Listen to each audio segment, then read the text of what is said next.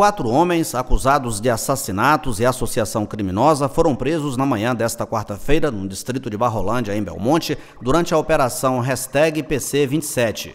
A ação foi deflagrada pela Polícia Civil em todo o território nacional, tendo como alvos acusados de crimes graves como roubo, homicídio e estupro. Em Barrolândia, 40 agentes cumpriram sete mandados de prisão temporárias e 10 de busca e apreensão, decretados pela Justiça do município.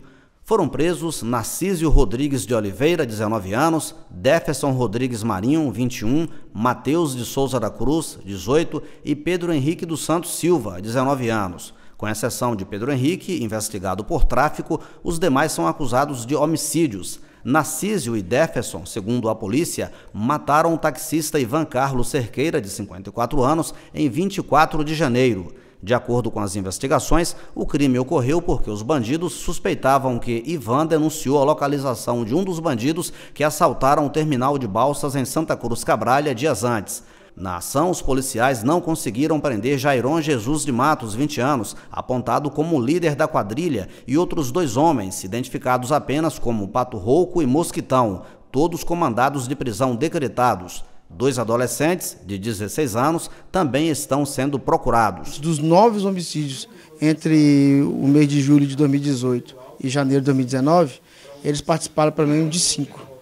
Então, é... e o líder é responsável pelos nove, tanto como executor como mandante. O delegado Moisés Damasceno, que coordena a Polícia Civil em nove municípios da região, explica por que Belmonte foi escolhida como alvo da operação. Porque a gente faz acompanhamento da estatística de crimes violentos, letais e intencionais é, diária, é, semanal, mensal e semestral e anual. E dentro dessa análise, verificamos que o município de Belmonte era o município com maior aumento em relação ao ano passado. Aliás, é o único município aqui da Costa do Cobrimento que apresenta um aumento em relação ao ano passado.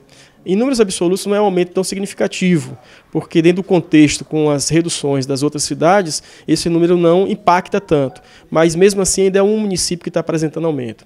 E verificando dentro do município de Belmonte, identificamos que Barrolândia, o distrito, era onde apresentava o um número maior de homicídios. Moisés Damasceno destaca que nos últimos três anos, as estatísticas de homicídios têm registrado uma queda vertiginosa em sua área de atuação. Inclusive já recebemos o prêmio é, duas vezes seguidas. Esse é o terceiro ano que, se Deus quiser, vamos alcançar também o prêmio, que é o chamado PDP, Prêmio por Desempenho Policial.